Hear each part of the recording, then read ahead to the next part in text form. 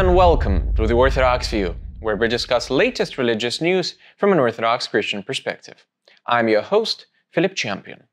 Today we're filming from a temporary studio, so please try not to pay much attention to it.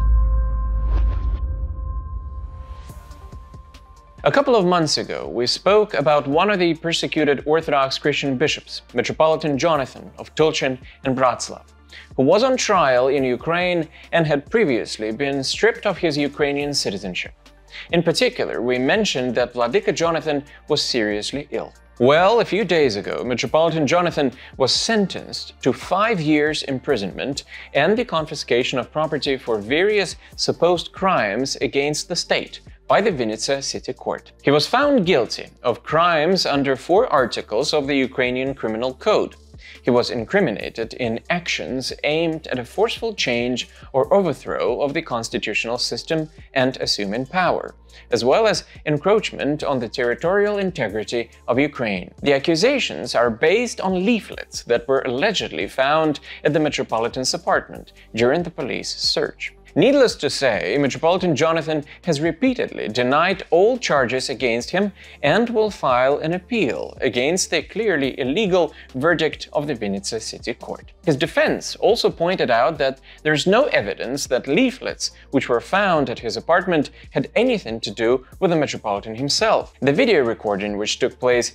during the investigative action confirmed the fact that those main pieces of evidence were planted during the search and accordingly the witnesses present at the search did not see the place with those pieces of evidence. The accusation is based on assumptions that Metropolitan Jonathan allegedly personally made those leaflets, although according to the investigation's position, they were produced by a printing method, and the investigation could not establish when and by whom they were made, and how they ended up with Metropolitan Jonathan. However, the investigation asserts the guilt of the bishop.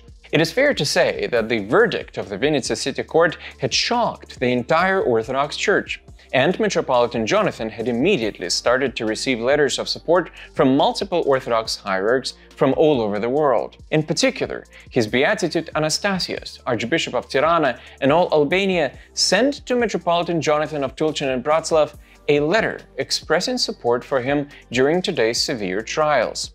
Here's a quotation from that letter. With the deepest sorrow, we follow the painful trials of your beloved eminence and your chosen flock.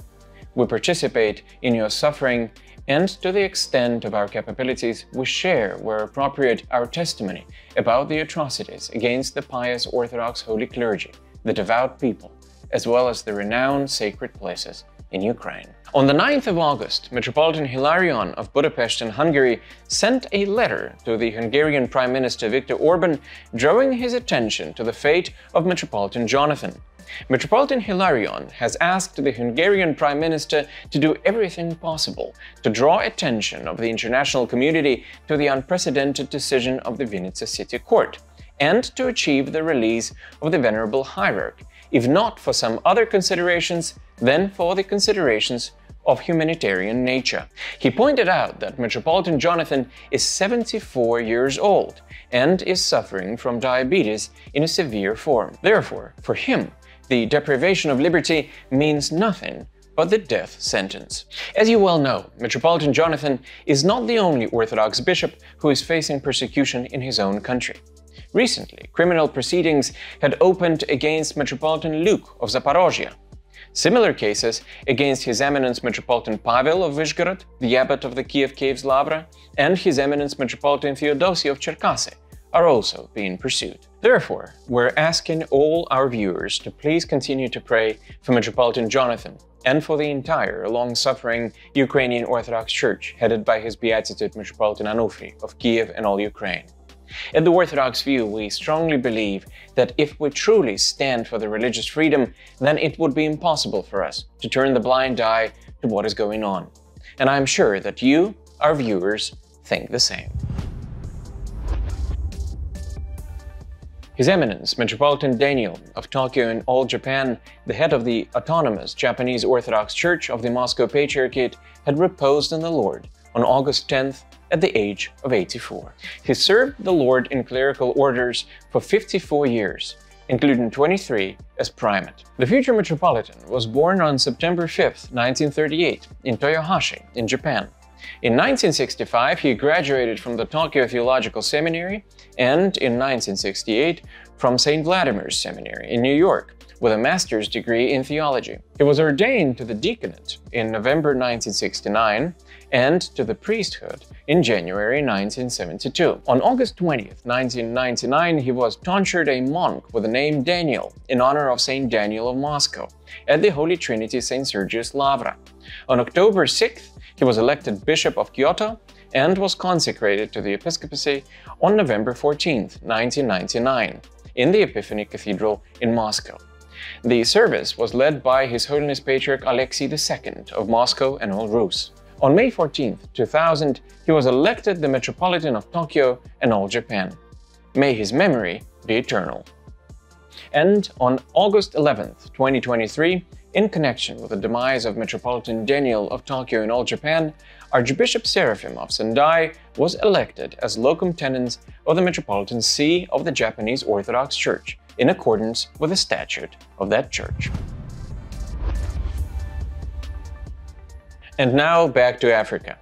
Seven students got baptized at a growing Orthodox school in Kenya. According to Ortho Christian, Father Antipas Odhiambo of the Ngwanda Orthodox Christian School and Community Outreach Center in Nairobi, Kenya, reports that he has received seven more youths into the Orthodox faith from his student body during a recent baptismal liturgy increasing the number of converts to his flock coming from the school. It is also reported that along with these baptisms, Father Antipas received a generous donation from St. Mary of Egypt Orthodox Church in Roswell, Georgia, that will build a much-needed fence around the 10-acre property that was purchased with donated funds in 2020. Here's what Father Antipas says about the land. The land was acquired to develop and establish a mission center here in Kenya, in my village, where we hope to establish an orphanage, school, a chapel, and a health center. We also wish to begin growing crops and keeping livestock for sustainability, and we pray that God will send us help to accomplish the work. We're grateful for the donation that has been graciously given to us, and we're planning to travel to my home village to begin the work on the land we acquired a few years ago by the grace of God. Father Antipas and his staff of 10 teachers will travel to western Kenya this week to build the fence themselves, showing a great desire and ability for establishing a self-sustaining parish and mission. If you feel like supporting Father Antipas and his staff in their ministry, we shall put a link with all the details in the description below. Meanwhile, that's all for today. Thank you for watching, and see you next time on the Orthodox View.